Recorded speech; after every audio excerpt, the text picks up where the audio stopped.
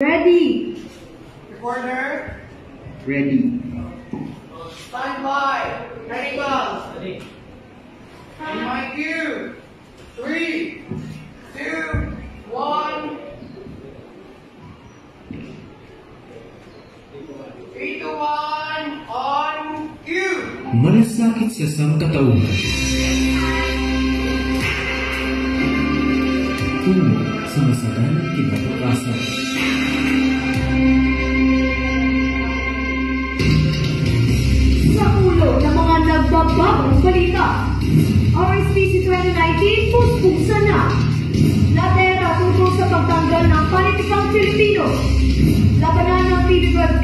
Broadcasting tutukan. At ganados bigong masukit ang corona sa Miss Universe.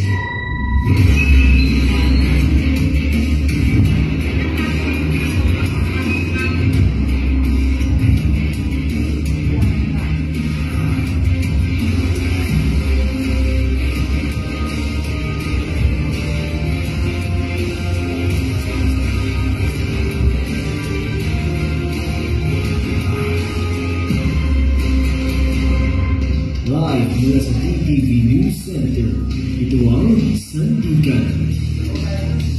Maayong hapon, Jensan, at magandang araw, Song Sergeant. Ngayon ay lunes, ikasyam ng Disyembre, taong kasalukuyan.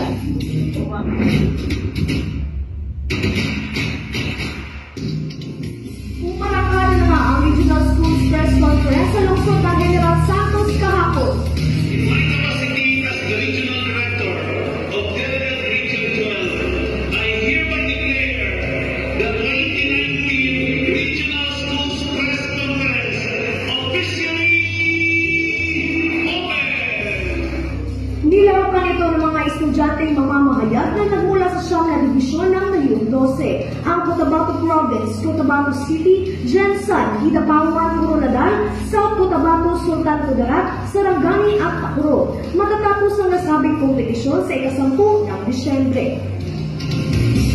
Pinutulan ni Ginoong Vin Lalera ang pagtanggal ng politikang Pilipino sa bansa. Alamin ang detalye kay Dina Labas.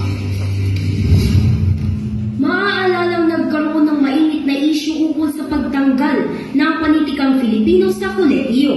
Kung tatanungin ng manumulat na si Vin Ladera, di siya sang-ayon sa panukalang ito. Siyempre hindi, kapag ang wika ay tinuturing mong nanay, hindi mo ito wawalang pahalain. Kapag ang bayan tinuring mong nanay, hindi mo ito nanakawan. Ang lahat ng yan, natututuhan mo sa politikan. Ayon sa kanyang pahayag na ginanap sa press conference, tutol siya sa panukalang ito sapagkat para sa kanya, mas natututo ang mga estudyante sa pamamagitan ng paggamit ng panitikan.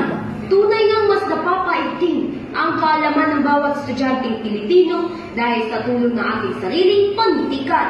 Dila Laban, GMTV Network. Abangan labanan ng TV Broadcasting sa RSPC ating tutukan live. At ganados, bigong masungkit ang Miss Universe. Susunod na yan sa pagbabalik ng pinagkakatiwalaang Sindigan. Tungkulin ng isang batang mamamahayag na talakayin at linawin ng makabayang adhikain taglay ng mga jorno na hubugin ng sambayanan sa pagsisiwalat ng katotohanan at pagtuon ng pansin ang hinaing ng mamamayan. Bilang isang 21st century learners, ating suriin ang pawang katotohanan lamang responsibilidad natin ipahayag ang nararapat at bigyang boses ang mga nahihirapan. Halina't suriin ng mga balita batay sa realidad gawing paraan ang larangan para sa tunay na pagbabago ng ating bayan. Ako, ikaw, tayo. Maging tapat ka, Jorno, handang maglingkod tungo sa pag-asenso.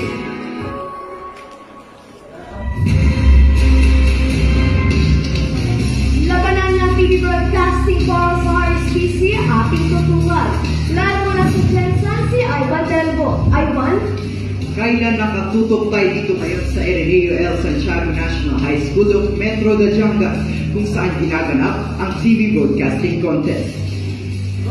Kahapon ay formal na ang binuksan ng RSPC na nagsimula na rin ang mga group events kung saan nilahakan ito ng mga batang mamamahayag mula sa siyam na divisyon ng Region 12. Kaya, Ah, Kumusta naman ang nararamdaman ng mga kalahok dyan?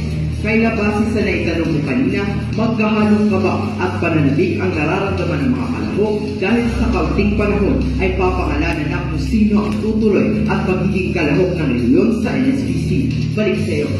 Salamat Ivan live mula sa General Santos City.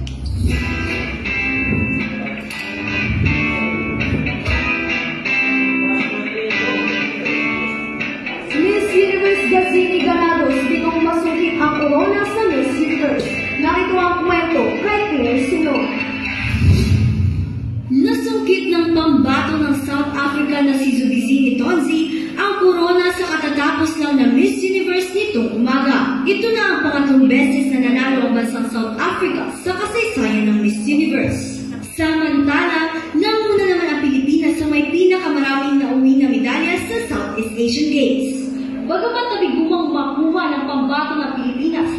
gadi ni Ganabis ang corona, nagbawi naman ito ng mga atleta Pinoy matapos silang makamit ang overall champion sa pagkatapos na SEA Games dito sa bansa. Hashtag sana all. Claire Sinon, DTV Network. At yan ang mga balitang nakalap sa oras na ito. At 16 days na lang po, Pasko